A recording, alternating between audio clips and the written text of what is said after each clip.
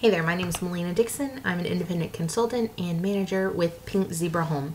And this is my Week in My Shoes series where I walk you through a week's worth of my activities, things that I did in the past week for my Pink Zebra business. So, this week runs Sunday, January 10th through Saturday, January 16th. All right, on the 10th, I met up with a customer um, there was an item that went out of stock after, um, or I guess when I closed her party in December. So I needed to get that item to the customer. So I took care of that. I checked in with a party host for an upcoming party just to see how things were going, if she needed anything from me, and how the head count was coming. And then I also checked in with one of my potential team members the next day was Monday, the 11th. I woke up that morning about 5, 5.30, and in my inbox, there was a joining special. And the way this joining special worked was everyone who joined within the set time frame purchased their kit at full price, but based on when you joined, you were eligible for a rebate and or a refund. And the earlier you joined, the better the refund. So I ended up checking or I checked in with a couple of my potential team members that day, um, that morning, and added two team members. So that's exciting. I also worked on my 2016 goals. I'll tell you more about that shortly.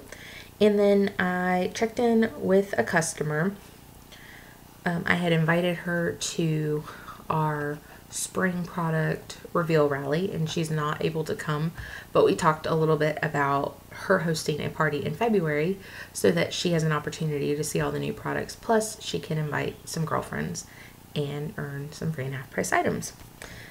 All right Tuesday January 12th I checked in with a customer of mine. I actually needed to get a jar of sprinkles to her. She won them as a prize um, during a giveaway that I did in December. So I checked in with her to find out when we could get together. And then I attended our leadership webinar at 8 o'clock that night. And that's something they do once a month. Our home office puts it together and they do recognition, they do training. And I was actually number mm-hmm. 13 in sales for December, which is really exciting. So I shared that on my Facebook page for my friends and family to see and celebrate with me.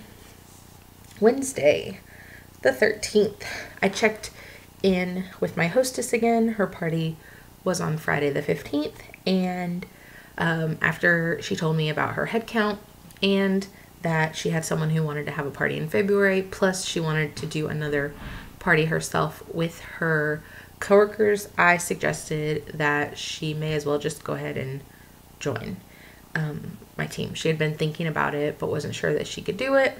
But I shared with her our joining special and she went ahead and joined. So, um, yeah, I added three team members this past week, which is crazy. I've, I don't think I've ever added three in a week before. So that was exciting. I also worked on some um, prep for my team meeting. Thursday, the 14th, I only worked half a day at my full time job. I worked Monday through Friday, and um, I had some house related things that we had to take care of that afternoon, so I just worked till 12. I also had my team meeting that night and I periscoped it.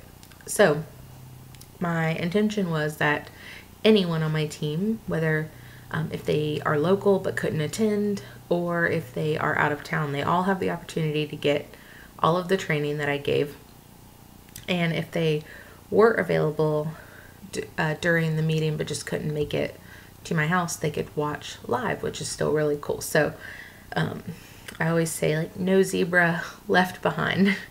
so I try to make sure that even if they can't be at the meeting, they're still getting the information.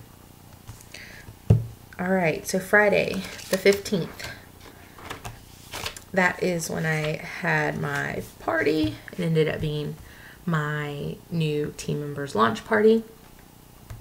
And um, one thing that I took away from that party was just how much she I guess, knew about the products or remembered from the party that she attended. So there were definitely portions of the party where I didn't even need to be there. She could have totally done it without me. But I'm glad I got to do that for her. That's my goal with my new team members. Um, you know, I'd like to be able to do their, their first party for them if it's geographically possible or if, you know, it works out with everyone's schedule. So took care of that.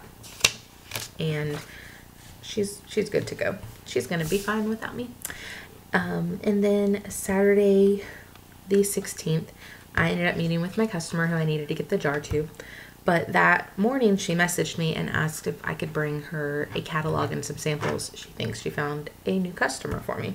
So that's really exciting. So the tip I'll give you with that is just be really good to your customers because they, if they love Pink Zebra, they're going to talk about it to other people. And that opens the door for a lot of opportunities for you. So I try really hard to be good to my customers. Now, back to um, the goals that I was talking about. So something that we, um, well, we did this last year, and I'm doing it again. I am writing all my goals down on a piece of cardstock, and I'm gluing it to a clothespin. And then I have this little bucket, and I clip all the clothespins around. And then when I accomplish that goal, I can take the clothespin off and throw it in the bucket. So then at the end of the year, I can look at everything in the bucket and see what what, what was a goal or what were the goals that I accomplished.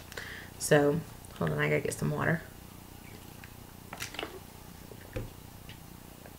Talking makes me thirsty.